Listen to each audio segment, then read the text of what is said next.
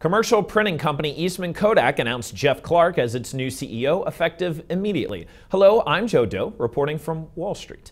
The former chairman of Orbitz succeeds Antonio Perez and is looking to lead the former photographic film giant into its new era as a business to business printing firm.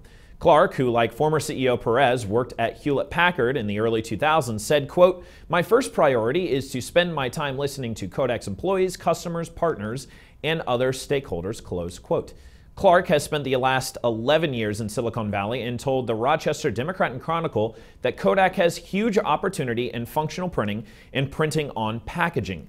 Suggesting that Kodak's new business makes it seem like a startup, Clarke said the company will benefit from its strong distribution network.